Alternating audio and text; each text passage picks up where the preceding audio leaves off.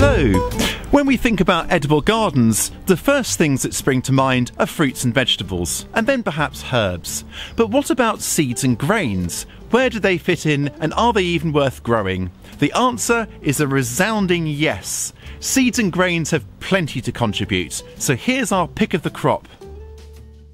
Pumpkins are big news in the autumn vegetable garden.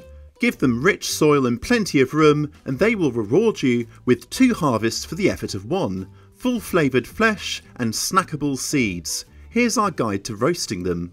Cut the pumpkin open, then scrape the seeds out with a spoon. Pull off any bits of stringy flesh, then rinse them in clean water.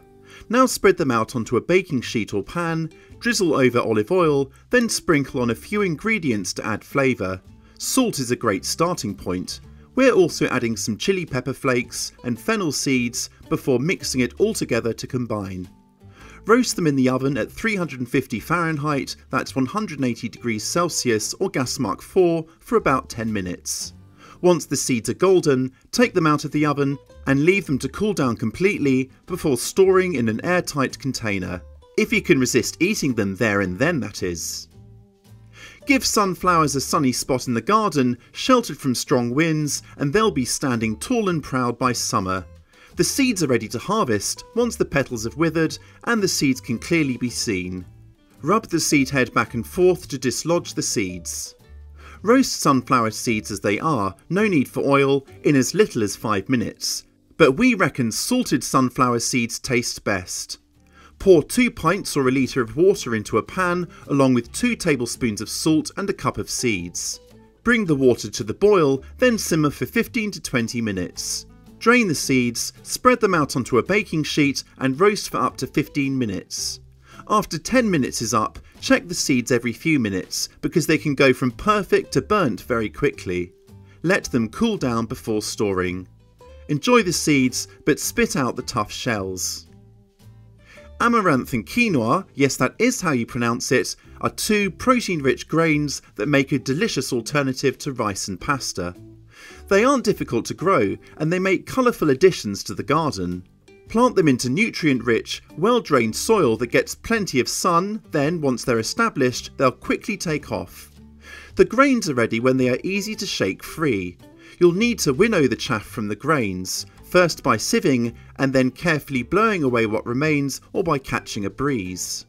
Allow the grains to dry thoroughly for at least a week before storing. Quinoa needs rinsing in water before cooking to ensure it's not bitter.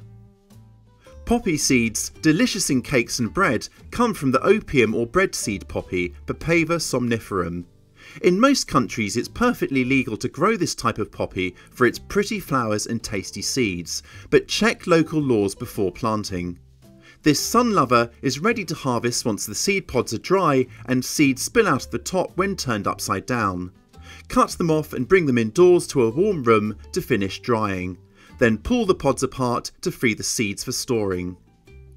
Many leafy herbs will also produce seeds for the spice cabinet. Fennel's up first, an easy to grow perennial herb that comes back year after year. Sunshine and a free draining soil should see plants thrive, throwing up clouds of pretty yellow flowers every summer. Then simply wait for the seeds that follow, gather them up and dry for storage. Like fennel, caraway is a member of the carrot family. It prefers cooler, temperate climates and, as a biennial, only lives for two years.